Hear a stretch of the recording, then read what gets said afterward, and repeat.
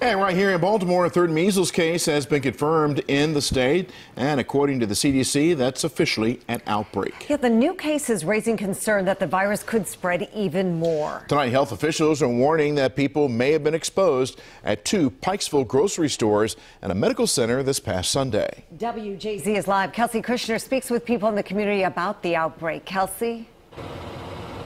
Well, Mary, the announcement comes the same day there was a measles vaccine clinic held in the area. Health officials say it's concerning having three measles cases confirmed in such a short amount of time.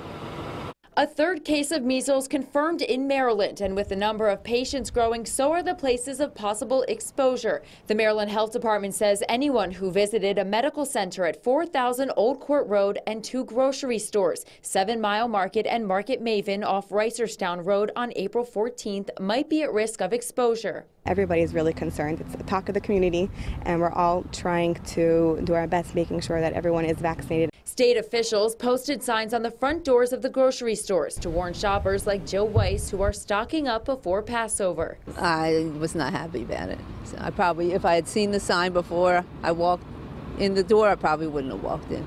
The announcement comes just after this measles clinic closed up on Wednesday. The Maryland Department of Health sent 1,200 free doses of vaccines to this Jewish girls' school in Baltimore to distribute to the public. A push from health officials to stop the highly contagious disease from spreading. You can walk into a room after someone who's been infected has left the room and still get the disease. Common symptoms include high fever, a cough, and a red rash. In the first two confirmed cases, health officials say the patients are in some way connected to the same household, and they picked up the illness outside of Maryland in an area with an ongoing outbreak. And I have a baby at home, so we're very concerned, and we even got my three year old um, a booster early so that we're all hopefully protected.